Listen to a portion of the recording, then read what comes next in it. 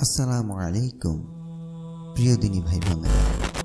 গতকাল ঈদে জামায়াতের সময় আমেরিকার বাফেলো একটি মসজিদে এক হিন্দু মহিলা খুদ্বার স্থানে দাঁড়িয়ে সে প্রতিবাদ করছিল।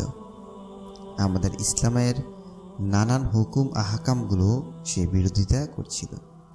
সে বলছিল, ইসলাম মানবতার ধর্ম নয়, বরং ইসলাম উগ্রতা শিখায়। তার বক্তব্যে দ্বারা বোঝা যায় যে, সে চাচ্ছিল যে পরিস্থিতি ঘোলাটে করতে। অর্থাৎ তাকে সবাই মারুক, তাকে ধর্ষণ করুক, অত্যাচার করুক। তো মুসলিমদের ওপর একটি মিথ্যা অপবাদ দেওয়ার চেষ্টা করে। কিন্তু আলহামদুলিল্লাহ, আল্লাহ তালা সহায়তায়, আল্লাহ তালা রহমতে আমাদের ইসলামকে সঠিক বুঝ দেওয়ার জন্য আল্লাহ সুবাহানু তালা পুলিশের মাধ্যমে আমাদেরকে সহায়তা করেছেন। পুলিশের নিরাপত্তা এবং পুলিশ সেই মেয়েকে গ্রেপ্তার করে এবং তাকে বিভিন্ন ধরনের জিজ্ঞাসাবাদ করে, কেন সে এই কাজগুলো করেছে। তো যাই হোক, দেখুন, যুগের পর যুগ ইসলাম সবসময় সত্য প্রমাণিত হয়ে আসছে।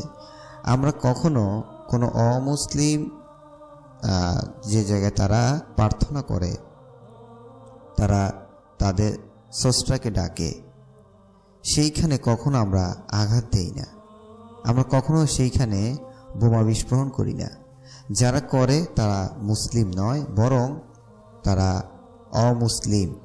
অমুসলিমদের মাধ্যমে তারা এই সকল কাজ করে। আপনি দেখবেন, এই যে রমজান মাসে আকসাতে ইহুদিরা মসজিদে হামলা করেছে। তারপরে নিউজিল্যান্ডে আরেকবার যে আমাদের মুসলিম ভাই বোনকে হত্যা করেছে। তো সেইখানে যে মুসলিমদের যে হত্যা করা হয়েছিল, কারা করেছে?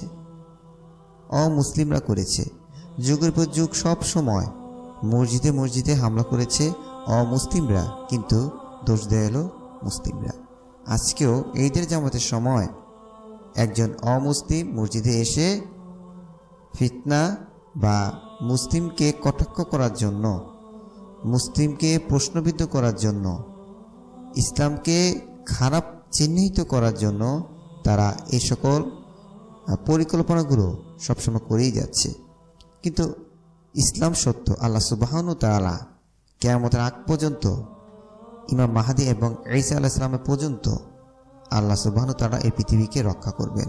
যতই ফেতনা করুক না কেন, যতই তারা সমস্যা সৃষ্টি করুক না কেন, আল্লাহ সুবাহনু তারা আমাদেরকে সাহায্য করবেন।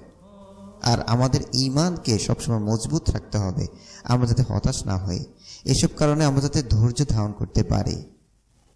এই মুসলিম নারী যে কাজটি করেছে, আমরা ধৈর্য ধারণ করব, আমরা প্রশাসনের মাধ্যমে কিংবা ইজমার মাধ্যমে আমরা চেষ্টা করব এটা সমাধান করার জন্য। ইসলাম আমাদেরকে কি বলছে? সেভাবে আলেমদের কাছে আমরা প্রশ্ন করব এবং আলেমদের দিক নির্দেশন মেনে চলব। আল্লাহ সুবাহানু তারা আমাদেরকে বুঝাও মানার তাফিক দান করুক। আমি